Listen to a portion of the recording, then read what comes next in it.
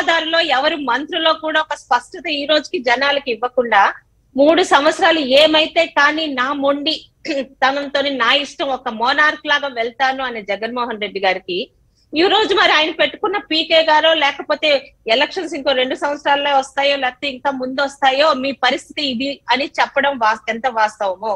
ఈ రోజు ఆయన నిన్న ప్లీనరీ పెట్టి అందరికీ ఒక ఎమోషనల్ బ్లాక్ మెయిల్ చేశారండి.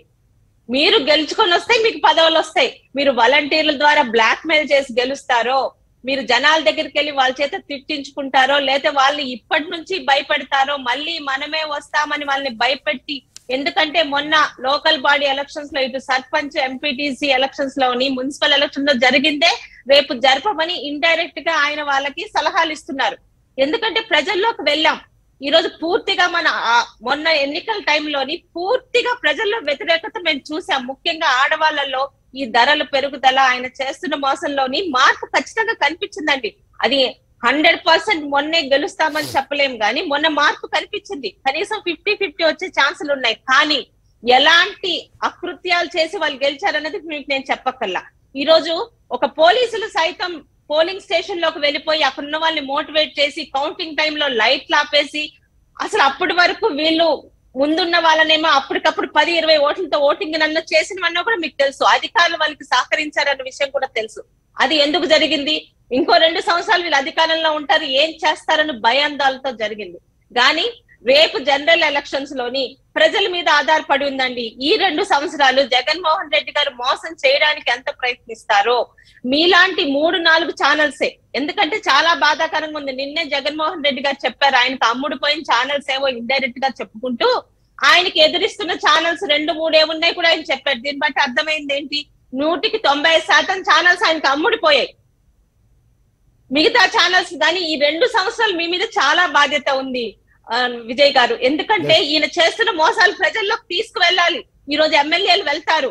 ఎమ్మెల్యేని ఈరోజు ఛాలెంజ్ చేస్తున్నానండి. ఎమ్మెల్యేని పోలీసుల రక్షణ లేకుండా వెళ్ళమనండి. ఎమ్మెల్యేని మంత్రుల్ని. అప్పుడు నిజమైన ఆదరణ ఏంటో తెలుస్తుంది.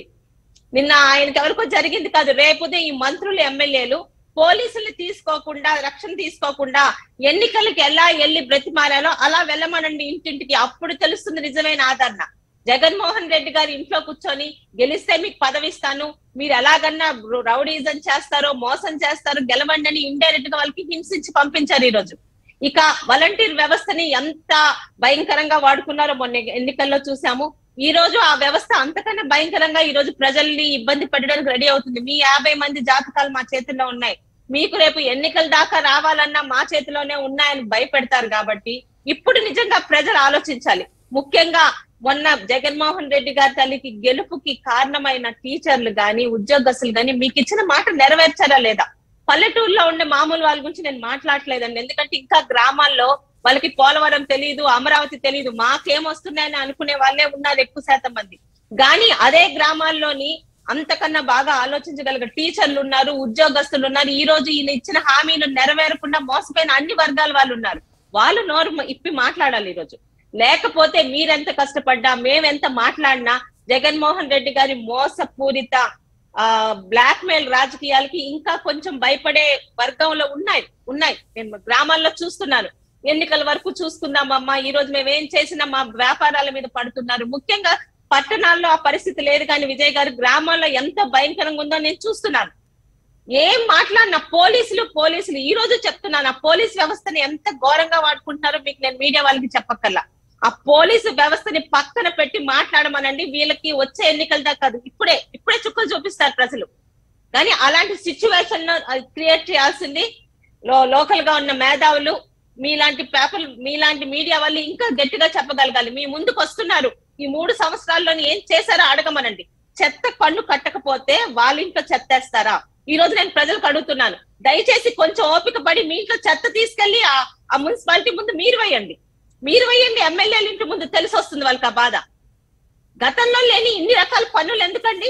ఆదాయం తప్పితే ప్రజలకి ప్రజలకు ఆదాయం ఇవ్వడం కాదు రాష్ట్రానికి కాదు. వైఎస్ఆర్పి వాళ్ళకి ఆదాయం ఎలా రావాలో చూసుకుంటున్నారు తప్పితే రాష్ట్రాన్ని మూడు సంవత్సరాలు జగన్మోహన్ రెడ్డి గారు ఏమన్నా ముందుకు తీసుకెళ్ళారా? ఇక రెండు సంవత్సరాల్లో తీసుకెళ్తారని నమ్మకం ఉన్న వాళ్ళు ఎవరినన్నా మాట్లాడమనండి. నిజాయితీగా మీడియా ముందుకు వచ్చి ఈయనలా ఈయనలాగా ఈ తుగ్లక్ పాలన సైకో పాలనలో ఎంతసేపు ఈ రోజు అడుగుతున్నానండి మీరు తర్వాత మాట్లాడదాం అన్నారు కానీ ఎందుకంటే మొన్నటి వరకు వివేకానంద రెడ్డి గారి కేసు ఎన్నికలు ఈ ఐదు రాష్ట్రాల్లో ఎన్నికల ముందు వరకు చాలా ఫాస్ట్ వెళ్ళింది రేపో ఎల్లుండో అరెస్ట్ చేస్తారు కూడా అని అన్నారు. సడన్గా ఆగిపోయింది. ఈ రోజు కృష్ణంరాజు గారు లాంటి వాళ్ళని ఎటువంటి ఆధారాలు లేకుండా ఒక ఎంపీని తీసుకెళ్ళి అరెస్ట్ చేసి థర్డ్ డిగ్రీ చేసిన పోలీసులకి ఈ రోజు అవినాష్ రెడ్డి గారిని కనీసం మాట్లాడడానికి కూడా ఆయనకి విచారం చేయడానికి కూడా తీసుకెళ్ళడానికి ఎందుకు ధైర్యం చాలట్లేదు?